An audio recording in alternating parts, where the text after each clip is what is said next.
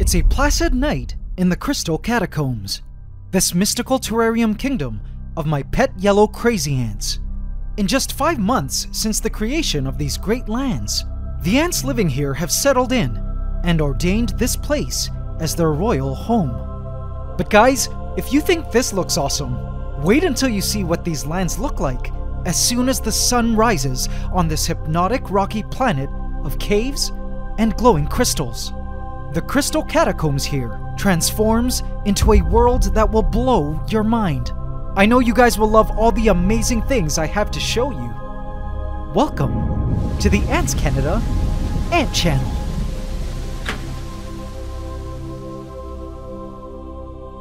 Please subscribe to my channel and hit the bell icon.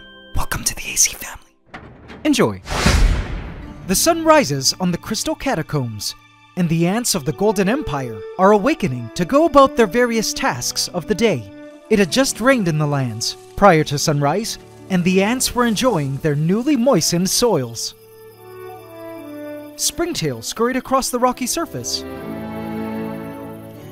And suddenly, a worker comes by to recruit other ants to help it with something. Guys, we need some help northwest of the nest. Come by if you're free. Select ants rushed in to assist. Can you guess what the big news is northwest of the nest? Leave your guesses in the comments, and let's see if you're right. I'll give you a clue though. It's not a cockroach.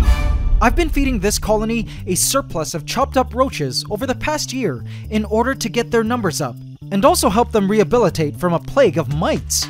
And I'm happy to announce the colony has bounced back gloriously and are mite free.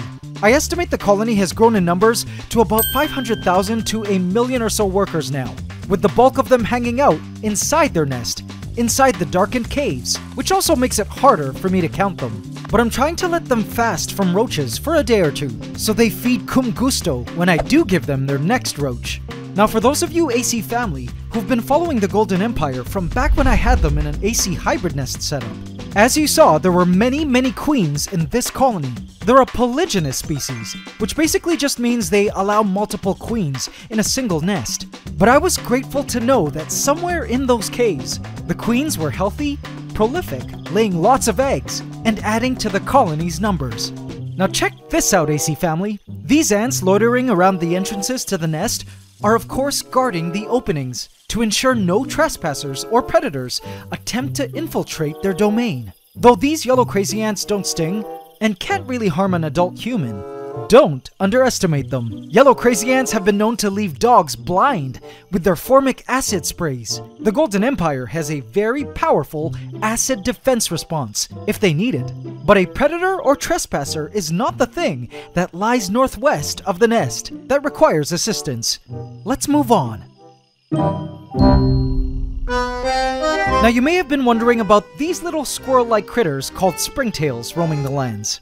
These amazing creatures belonging to the subclass Collembola are soil friends to the ants.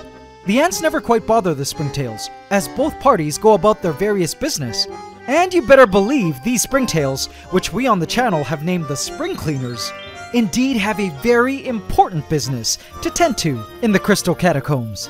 As the name that we the AC family gave them suggests, these springtails are cleaners. They're essentially the janitors of the Crystal Catacombs, which is why the Golden Empire appreciates having them around. They eat leftover scraps from the insect parts the ants leave behind after meals, as well as the potentially harmful molds that grow on the ants' garbage. They even keep the beds of moss pristine and clean of mold growth. I find them to be very thorough at cleaning up. Scientists have called them springtails because of their ability to spring away if needed, with the help of an appendage attached to their tails. Here you can see springtails of various ages and sizes scuttling about. It's the adults in particular that can be quite territorial over food and space though. So feisty. Taking on the important roles of scavengers, fungivores, and detritivores, the springtails are essential to any soil ecosystem. Aside from cleanup, their poop goes on to nourish the plants and mosses of the lands. And as you can see, even the hardy rockweed stalks appear to be benefiting from them being around. If you're wondering how the springtails got here in the first place, they appeared and established themselves from just a few originating members that must have come in with the soils I used in the terrarium. I find healthy populations of springtails like this just seem to establish naturally over time in a terrarium as the soil community matures. I personally love how cute, silvery, and fuzzy they look. How about you, AC family? But lo and behold, it doesn't seem like the springtails are quick to rush northwest. So you can bet a dead roach or garbage disposal is not the big thing the ants need some help with. Let's finally move to the northwest of the tank.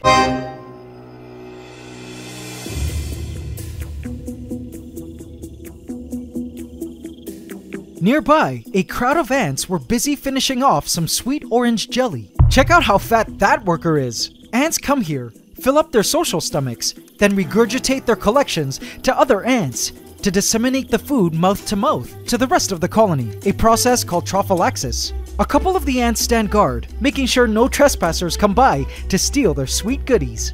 But this jelly cup is also not what the ants need help with either. In fact, the ants have been working on this jelly cup over the past two days now, and are about to finish it off, and are pretty much done soon. So guys, are you ready to see the big thing located in the northwest that the colony needs some help with? Well, AC family, it's this. A new jelly cup.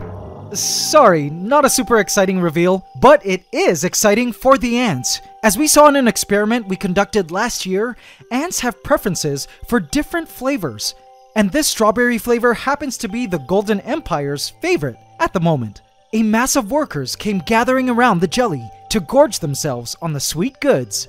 Ants were even eager to lick the sweet droplets that had fallen onto the rocks. When I placed the jelly cup in, I could watch ants feeding on food they love for hours.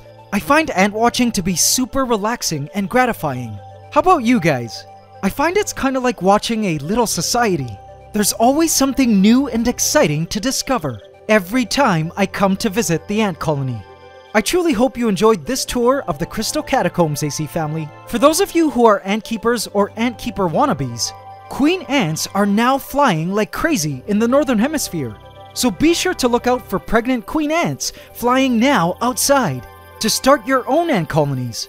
It's actually not that hard to find a queen ant. In fact, you can catch them in your own backyard, open window, or balcony. In North America, a lot of you are tagging me on social media, showing me photos of the Camponotus queens you are all catching. Congrats!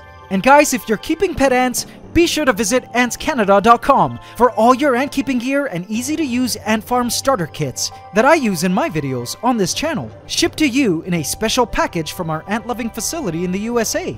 Our ant farms help you get the most out of your ant keeping experience. We ship worldwide and also offer full email support if you need our help. We also have a helpful forum and ant colony trading marketplace on the site, so visit antscanada.com today. Until the next time we return to the wondrous world of the Crystal Catacombs, the epic terrarium home of our once again thriving Golden Empire. Thank you for watching and supporting the ants. It's Ant Love forever.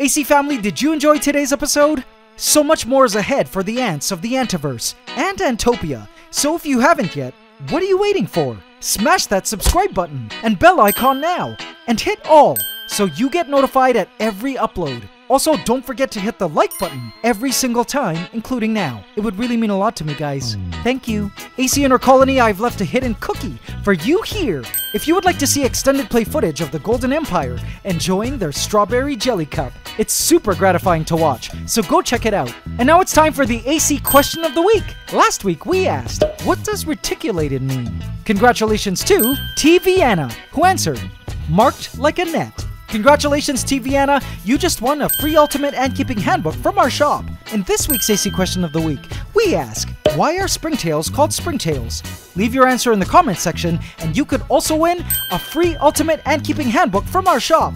Hope you can subscribe to the channel as we upload every Saturday at 8 a.m. Eastern Standard Time. Please remember to like, comment, share, and subscribe if you enjoyed this video to help us keep making more. It's Ant Love forever.